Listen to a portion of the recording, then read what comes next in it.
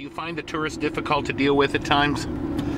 Um, for the most part, nope. They're actually No? usually very polite and respectful. You know, occasionally, you get that one that you know, just that been that way his whole life, whether he's in Maine or Alaska or California.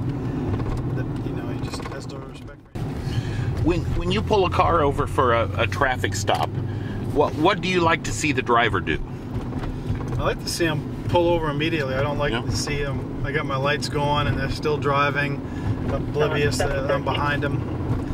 You know, I, I don't like to have to hit my siren. Occasionally, I will do that. Um, When you're able, can you give That's a my biggest pet peeve. When I turn my lights Yep, on, ten four. please pull over. It's pretty. Sometimes the one you want keeps driving, but everybody, the three cars in front of him, the two cars behind him, pull right over. But the one you, you're looking for keeps driving. It's just attention. I'm going to take it down to Simonton Corner where there's numerous complaints of stop sign violations. Uh, who who calls in and makes these complaints on the stop sign violations? I would assume if I was a Yeah. motorist and I got out of work after a hard day and I'm driving down through here and you know there's two or three cars in each stop and you pull up and now you watch some guy just blow right, Right through, through. I would I would probably call too. Yeah, that's dangerous. It is dangerous. Like I said, I've sat right down here. You know, I'm plain view. I'm in a big shiny silver car with Rockport police on it. They'll come down over this knoll, blow right through.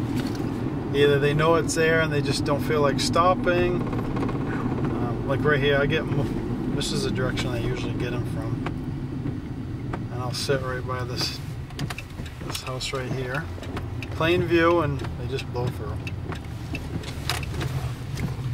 We haven't had that many accidents here, actually.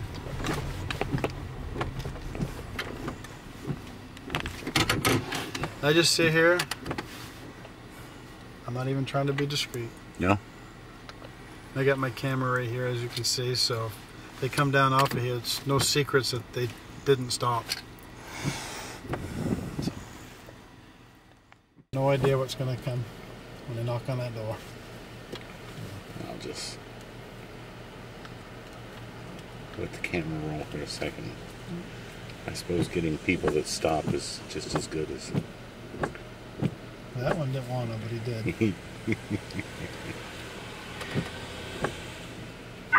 Seven thirteen out out of the office.